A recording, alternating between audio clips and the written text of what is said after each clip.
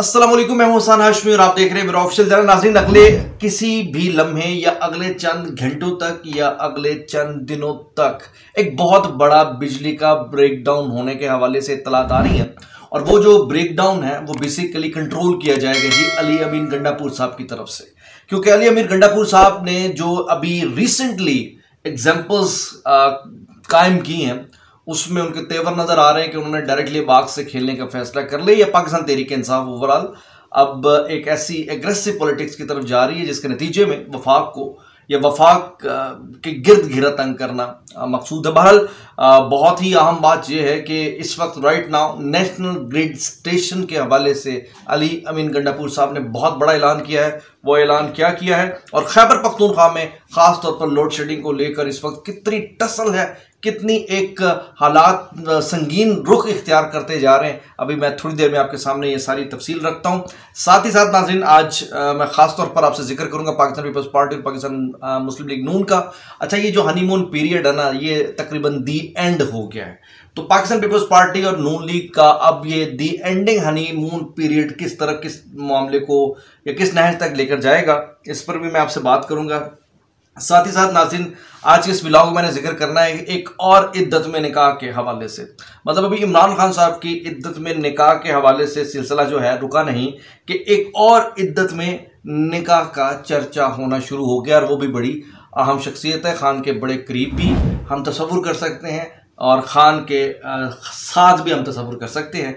वो माजरा और मामला क्या है वो मैं भी आपके सामने रखता हूँ लेकिन बात को आगे बढ़ाने से पहले छोटी सी दरखास्त है कि आप चैनल को सब्सक्राइब कर लीजिए बेल आइकन को क्लिक कर लीजिए और अपने फीडबैक से ज़रूर आगाह कीजिए। अच्छा आ, मेरे ख्याल से सबसे पहले हमें ज़िक्र करना चाहिए आ, जो शहादतें हुई हैं सऊदी अरब में। नाजीन बड़े दुखी दिल के साथ कहना पड़ता है लेकिन ये बहरहाल एक ऐसी वो कहते हैं मौत है। जिसको हासिल करने के लिए हर मुसलमान तड़पता है, लेकिन मौत, बहरहाल मौत है। मक्का मुकरमा में जो आजमीन हज हैं, जो हज के लिए उधर गए थे इस वक्त राइट नाउ तकरीबन हज का मरहला मुकम्मल हो गया है, और इस मरतबा, इस साल 577 के करीब हाजी जो हैं शहीद हो गए हैं, जाने पानी से कूच कर गए हैं, क्योंकि बिजली सॉरी गर्मी की शिद्दत थी, बिजली से मुझे ख्याल याद आ गया भारत। खैर, गर्मी की इतनी शिद्दत थी कि इक्यावन सेंटीग्रेड तक मामला उधर पहुँच गया और आपको पता है कि सऊदी का जो माल बकू है और वहाँ जो परफॉर्म हज के दौरान आप देखते ही हैं कि कोई साय का अहतमाम नहीं होता उस तरह।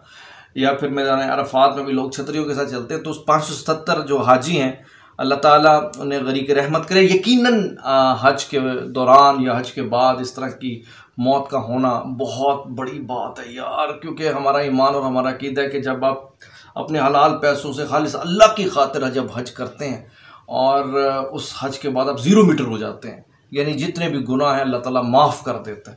तो कितनी एक खुशनसीबी होती है कि अल्लाह ताला इस हज को कबूल करे और मकबूल हज के हाजी अगर इस दुनिया से चले गए हैं वहाँ और उस सरजमीन पर दफन भी हो रहे हैं तो इससे बड़ी और साथ क्या? दो हज़ार के करीब जो है, लोग अभी भी हॉस्पिटलाइज्ड हैं और इस सिलसिले में मज़ीद शहादतों के हवाले से कहा जा रहा है, अल्लाह ताला सबके हाल पर रहम करे। अब आगे बढ़ते हैं और ख़बरों का हम सिलसिला शुरू करते हैं। इस वक्त चूँकि हुकूमत आप देखते हैं कि पाकिस्तान मुस्लिम लीग नून की हुकूमत है और शबाज शाह साहब ने हुकूमत बनाई है और अभी मैं बल्कि एक बयान देख रहा था, वो बयान बड़ा मज़ेदार था। मैं उसे, बल्कि मैंने जब पढ़ा तो मुझे फील हुआ कि ये एक तरफ़ जुर्म भी है। अभी हमारे जो नए नवेले वज़ीर ख़जाना आए हैं, जिनके बारे में कहा गया था, जी, वाह वाह वाह आएगा तो छा जाएगा। मैं कहना कि यार थे तो मैं बढ़िया सन। तो वो जब आए हैं, उन्होंने जो बजट बनाया है, उस बजट में जो एलोकेशन की है, और उसमें जो उन्होंने जो चाहते थे मतलब ख्वाहिशात की तकमील को सामने रखते हुए जो थोड़ा बहुत बचत और मामला हुआ, फिर वो नीचे आते आते आवाम पर सारा जो उन्होंने दबाव डाला है, वो तो उस वजह से अवाम से बहुत खराज तहसीन समेट ही रहे हैं।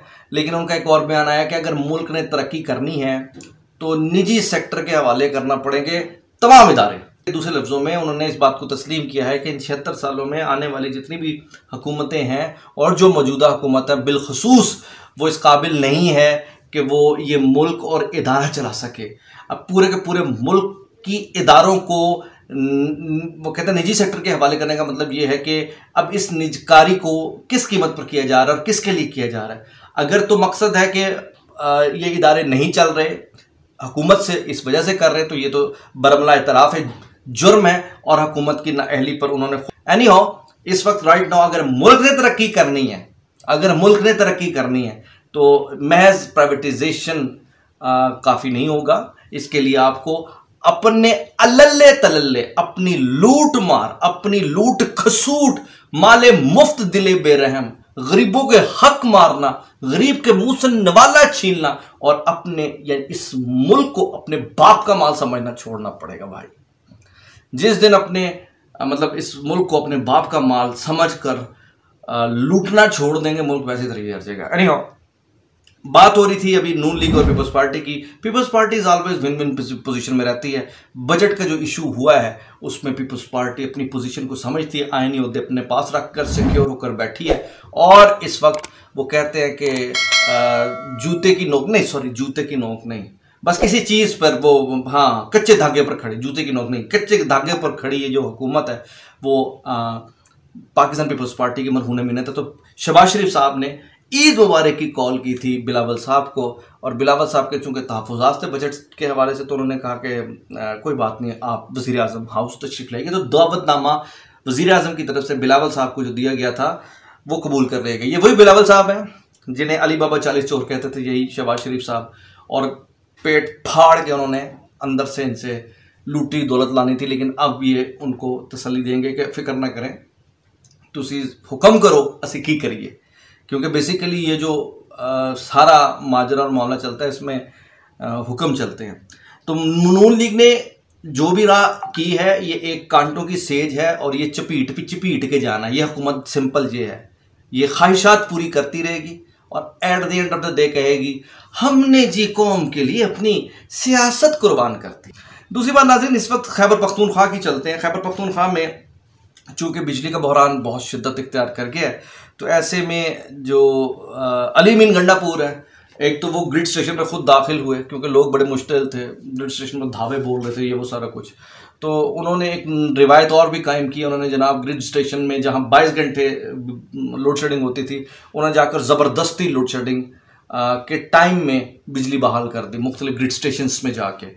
तो इस तरह उन्होंने बाकी अपने अमले को या अपने वज़रा को या अपने एमपीएस को ये हुक्म दिया कि जनाब अपने अपने इलाके में आपने इस चीज़ को कहकर बारह घंटे से ज़्यादा लोड शेडिंग नहीं होनी चाहिए। और इसी पर उन्होंने कहा कि जनाब अगर अब इस सारे मामले पर हमारा साथ ना दिया तो नेशनल ग्रिड स्टेशन को हम बंद कर देंगे। अब इस सारे मरले में आ, अब ये खबर आ ही रही थी तो अब ये भी खबर आ रही है कि दो दिन बाद इनके अब हुकूमत के साथ मुजाकर भी होंगे। बेसिक अली इससे पहले जो मुजाकर हुए थे, उसमें अली मीन गंडापुर साहब का कहना था कि जी देखें, हमने बाईस घंटे की बजाय अट्ठारह घंटे लोड शेडिंग का हमारे साथ वादा हुआ था।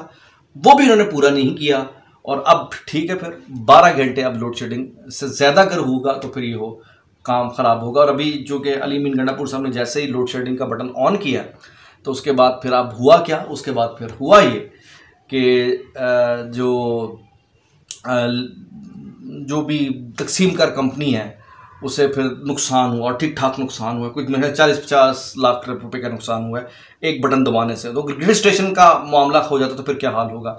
अब last but not the least इस वक्त एक शादी का तस्करा हो रहा है, और वो शादी का तस्करा हो रहा है जी इरशाद पट्टी साहब का। इरशाद पट्टी साहब, आपको पता है माशाल्लाह पूरे सरकारी सांड का लकब मिला है मुजीबुर शामी साहब की तरफ़ से। और उन्होंने एक और काम भी कहा है कि जनाब ये हर जगह चूँकि चले जाते हैं हर जगह इनका बड़ी मनता है तो अब चूँकि इनकी दूसरी शादी हो रही है आज बड़ी इंपॉर्टेंट बात है। वैसे तो हजरा तफरुन की लेकिन आ, मौके की मुनासिबत से थी। उन्होंने कहा कि जनाब भट्टी साहब ध्यान करना। तुम भी कितने इद्दत च निकाह ना कर लेना। तो भट्टी साहब को ये मशवरा मुजीबुर रहमान शामी साहब ने दिया है क्योंकि इमरान खान साहब ऑलरेडी इद्दत के केस के हवाले से भुगतने हैं। तो अभी इरशाद अली इरशाद भट्टी साहब जो है जो कि ऑलरेडी खान साहब के बड़े क्लोज हैं और उनको आ, उनके आ, नाम से जाने और पहचाने जाते हैं।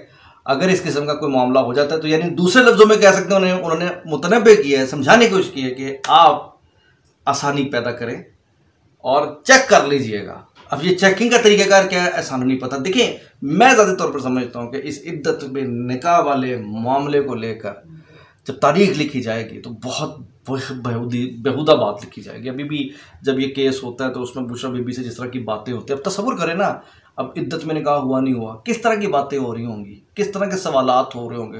लेकिन उन्होंने बच्चे सवालात अगर सुने तो उनके तो मौज लग जाएगी। लेकिन इतनी गंदगी है, इतनी गंदी बातें की जाती हैं जी कब, कहाँ लास्ट टाइम आपका कब हुआ था लास्ट टाइम जब हुआ था तो उसके बाद कितने दिन बाद आपके वो पीरियड्स आए थे और ये वो चीज़ें और उसका क्या पैरामीटर होगा? सिवाय तजलील करने का और कुछ नहीं है।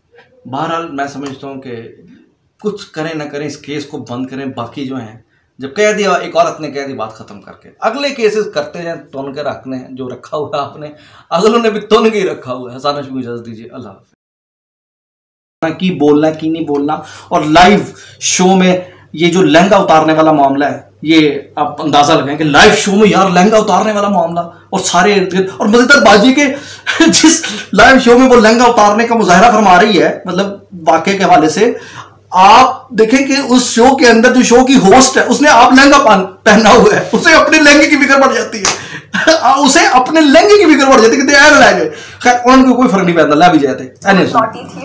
एक ऐसी ईद है जिसको मैं नहीं भूल सकती मैं फोर्थ क्लास में थी। हाय हाय! हाय अच्छा मैंने ना बहुत ही शौक से ना मैंने ना लहंगा कुर्ती मंगवा लिया क्योंकि मुझे अलाउ नहीं था लहंगा कुर्ती डालना ना। जैसे जैसे करके बहुत प्यारा सा मैंने लहंगा लिया। अच्छा फिर ना उस दिन जब मैंने लहंगा पहना हाँ। सखिया मार रही हूँ सारी सहेलियों को बता दिया सारे रिलेटिव्स को बता दिया मैंने पहन लिया पहन के लहंगा पहना अगले देख के कहने ने पहन तू लहंगा पहने हैं? लेकिन मैंने बता दिया कि मैंने लहंगा पहना है। बताना पड़ा कि मैंने लहंगा पहना है। अच्छा। रही हूँ बाहर मैं सबको भाग भाग के मैंने हील्स भी पहनी हुई है ना फिर पहली पहली दफ़ा। तो मैं जा रही हूँ पूरी शौकिया मार के जा रही है आप तो अच्छा मैं जा रही हूँ झूले लेने के लिए। फिर क्या हुआ मैं जैसे झूले के ऊपर चढ़ी मैंने पैर रखा। पॉइंट टू बी नोटेड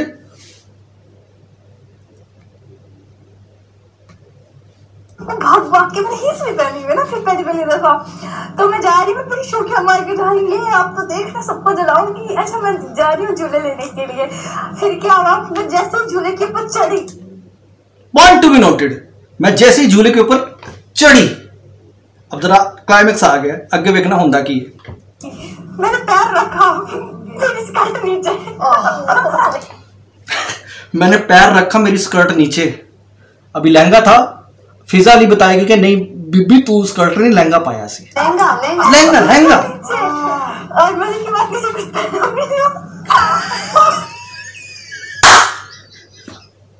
मज़े की बात ये है नीचे कुछ पहना भी नहीं हुआ था।